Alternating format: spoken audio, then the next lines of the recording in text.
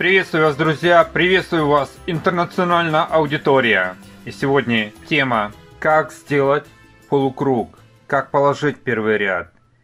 Как сделать снаружи или внутреннюю часть полукруга? Все эти темы мы затронем сейчас. Всегда много вопросов по фундаментам.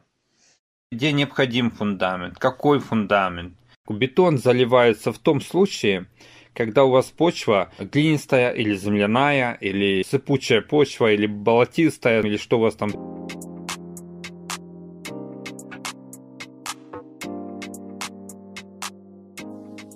У нас под нашим забором камень. Мы не заливаем в данном случае бетон. Кладем прямо на скалу.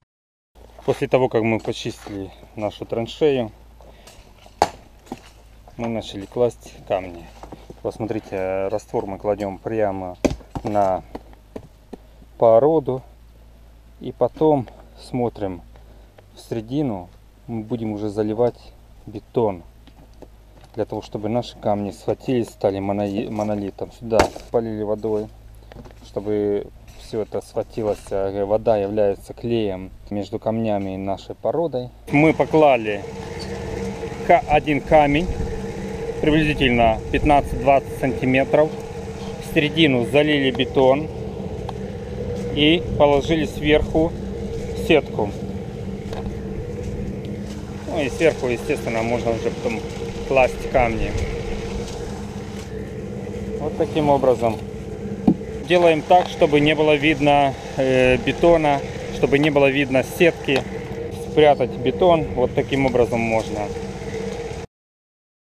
Строительные швы делаются совместно с фундаментом. Если вы заливаете бетон, значит вы делаете бетон по секциям. Для того, чтобы секция играла совместно с бетоном. Причем у нас сделаны через каждые 10 метров, а может даже меньше, строительные швы. Если в ваших конструкциях, будь то подпорные стены или просто каменные стены, или с любого другого материала, нету строительных швов, в ваших конструкциях будут появляться трещины. Почему? Потому что существует сейсмичная зона. Есть районы в Сибири или на севере, где не трясет, но у них есть замерзание грунта, а значит и происходит пучение. То есть, если нет строительного шва, чтобы конструкция играла, значит конструкция будет трескать там, где она захочет треснуть. Если у вас есть строительный шов, ваша конструкция просто будет монолитом играть. Ведь на самом деле землетрясение это монолитные горы пляшут. Это вот просто земля уходит с под ног. Представляете себе, вот э, идет волна, и она вот вашу конструкцию колышет.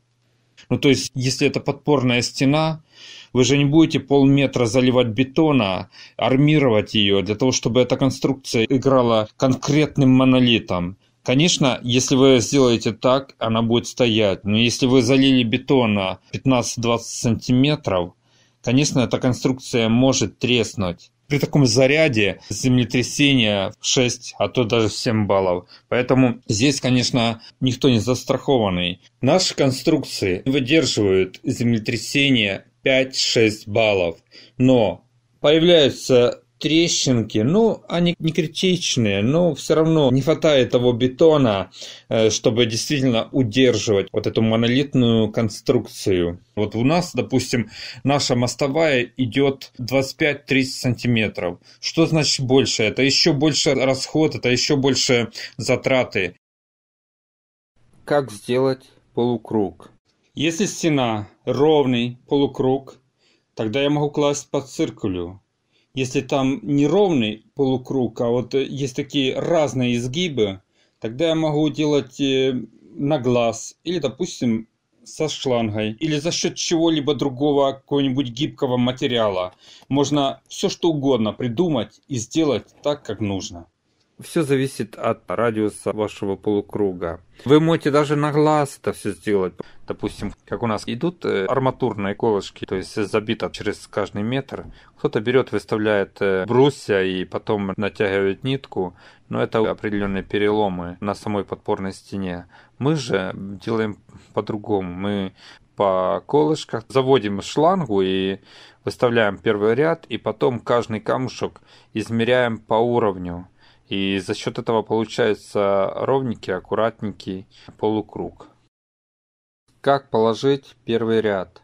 Самое элементарное, если у вас почва позволяет, кладете раствор, кладете сверху камень, и все, вот вам первый ряд. Ну, смотря в каких случаях. Первый ряд э, неплохо, если положить на сухую, чтобы вода вытекала, как бы дренаж. Какова должна быть забутовка? У нас по ту сторону стены может быть э, скала или просто земля. И вот смотришь в другой раз, ребята берут, засыпают там щебень, камни, и все сверху прикидали раствором, и все. Так делать нельзя. Нужно каждый камушек выставить, чтобы он был как бы построенный, не просто засыпанный и сверху растворчиком. Если вдруг вашу подпорную стену с той стороны захотят разобрать и сделать погреб или еще что-то, однозначно ваша стена начнет сыпаться. Поэтому вы смотрите, как мы вот делаем. Каждый камушек внутри вымащиваем. Пускай они небольшие будут, пускай они будут маленькие, но они идут вглубь. И они хорошо потом стоят, а уже между стеной, каменистой или грунтовой почвой и вашей стенкой, которую вы делаете, вы просто засыпаете мелкий щебень ну то есть скальный грунт, сколы, которые идут после обработки камня, вы засыпаете их вовнутрь. Для чего необходимы скальный грунт, ну то есть щебень, вот эти сколы после обработки засыпать вовнутрь, а не просто землю, которая у вас выше, тянули и все. Необходимо для того, чтобы хорошо работала дренажная система. Камень, щебень хорошо пропускает воду, и за счет этого вода хорошо уходила, чтобы она не задерживалась на той или иной секции.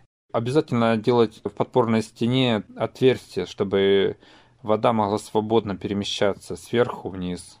Вот я в данный момент показывал, как э, внутренняя часть делается. А теперь наружная часть. Если это не подпорная стена, как у нас, если, скажем, у вас э, просто стена полукругом, как ее сделать?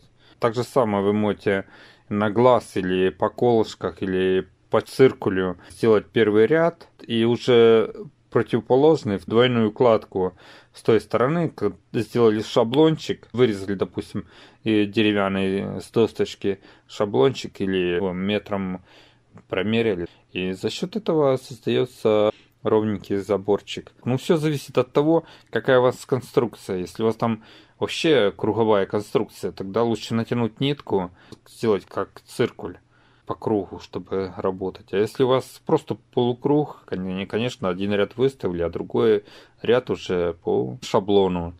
Также вы можете открыть по ссылочке амфитеатр и посмотреть, э, как мы делали круг по циркулю. И потом же мы делали по шаблону. Допустим, у нас ступенька, там идет в два камня, и потом уже от нее надо было 80 сантиметров сделать от угла ступеньки. И мы это делали по шаблону. Поэтому все на вас вкус. То есть вы работаете, у вас все открывается, ваши, ваши мозги работают, ваша голова работает. Как вам лучше сделать? Вы можете хоть метром отмерить, хоть кусок проволоки, хоть, э, я не знаю, все что угодно можно придумать для того, чтобы сделать работу свою хорошо и качественно.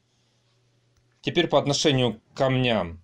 То есть если у вас угол острый, камни нужно сбивать. Допустим, если большой там полукруг, там можно ничего не делать с камнем, там его класть просто приблизительно, чтобы это было ровненько. Но если у вас круг, как у нас, вот 2-3 метра, и он такой завернутый в 100-110 э, градусов, тогда необходимо каждый камушек сбивать углы для того, чтобы у вас получился красивый угол. Итак, вот у нас стена, которую мы делали. Чем больше круг заворота, чем острее угол нашего забора, тем больше нужно оббивать э, камень, чтобы он был с обтекаемостью. Вот мы берем любой камушек, вот смотрите, я этот взял, и допустим, я беру просто его, и вот, вот здесь отбиваю, отбиваю. Вот, и другую сторону я отбиваю.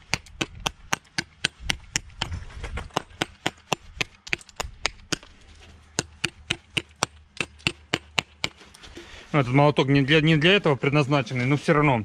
Э, вот я отбил. Видите, у меня камень стал заокругленный.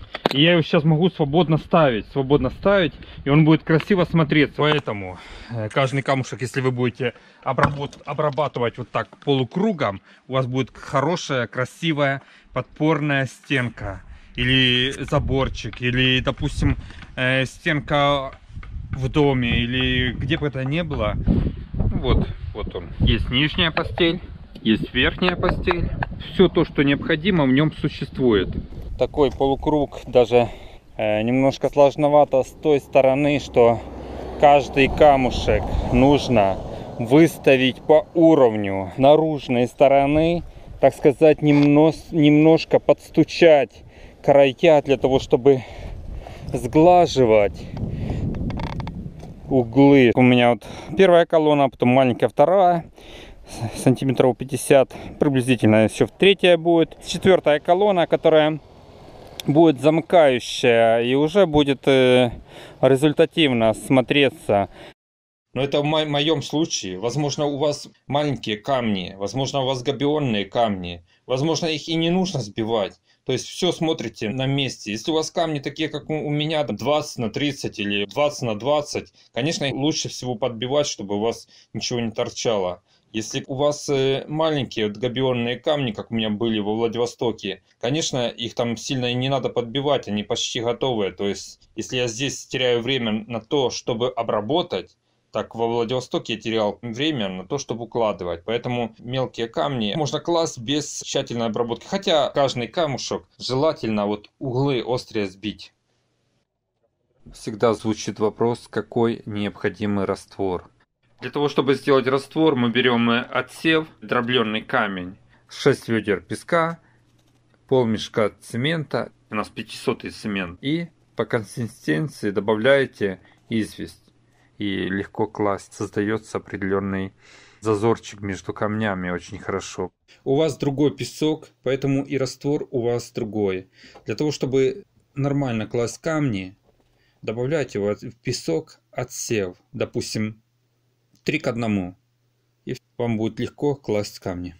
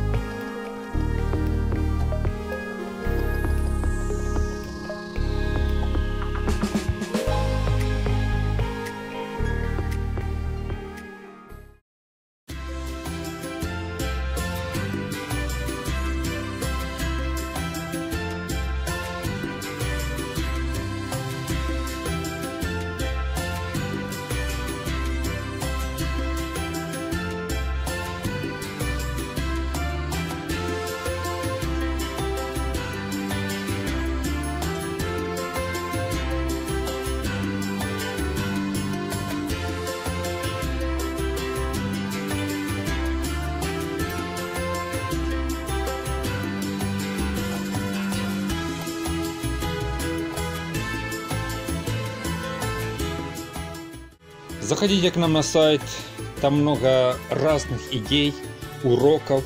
Вы можете посмотреть фотогалерею и что-нибудь для себя найти. Стройте из камня.